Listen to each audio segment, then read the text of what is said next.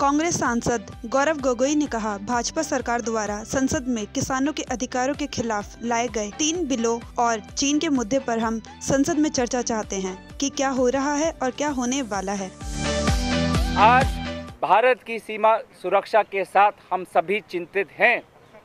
आज का समय अनिवार्य था कि रक्षा मंत्री बोले कि वो चीन के सीमा पे जो हमारी समस्या है, चीन सेना के साथ उस पर भारत सरकार कब अपनी नीति स्पष्ट करेगी? चर्चा के द्वारा या स्टेटमेंट के द्वारा क्या उनका रवैया रहेगा? हम चाहते थे कि आश्वासन तो मिले। रक्षा मंत्री स्वयं आज लोकसभा में थे।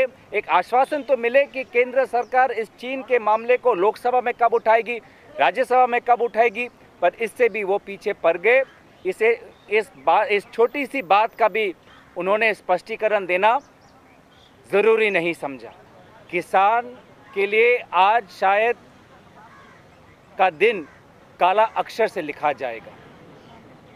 क्योंकि चारों तरफ़ हम देख रहे हैं कि किसान पीड़ित हैं, उचित मूल्य नहीं मिल रहा, व्यापार चौपट है, उनके खेत में काम करने वाले को वो जो डेली वेज देना होता है, दिहाड़ी देना होता है, वो नहीं दे पा रहे। लेकिन आज भाजपा सरकार प्रधानमंत्री मोदी जी के नेतृत्व में जो बिल लाए हैं, वो किसानों को मदद करने के लिए नहीं, कॉरपोरेट सेक्टर को मदद करने के लिए बड़े बड़े उद्योगपति को मदद करने के लिए ये बिल लाए हैं। किसानों के अधिकारों पे, किसानों के आमदनी पे, किसानों के इनकम पे ये एक प्रहार है। और इसलिए हम इसका घोर हम विरोध कर रहे हैं।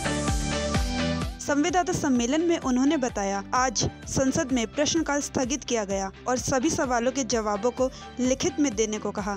परंतु हम अपने सवालों के जवाब रक्षा मंत्री जी से लिखित में नहीं प्रश्न काल में सामने से चाहते हैं और संसद में हमारी आवाज़ सुनी जानी चाहिए। बनावटी कारण के द्वारा आज प्रश्नकाल को जिस प्रकार से स्थगन किया जा रहा है, ये उचित नहीं है। मंत्री महोदय अपने बिल के लिए आज उन्होंने भाषण दिए। तो क्यों वो प्रश्न का उत्तर नहीं देना चाहते? उन्होंने कहा कि लिखित में वो प्रश्नों के उत्तर लिखित में देंगे, लेकिन हम सभी को पता है कि ये जो लिखित उत्तर उनके अफसरों से आता है। देश की आवाम ने अफसरों को नहीं चुना। देश के आवाम ने इस सरकार और इस सरकार के मंत्रियों को चुना है। और देश के आवाम की जो आवाज़ है उस आवाज़ को अफसरों के द्वारा लिखित उत्तर में नहीं, मंत्री महोदय के स्वयं उनके उत्तर से उनके वाणी से आना चाहिए था।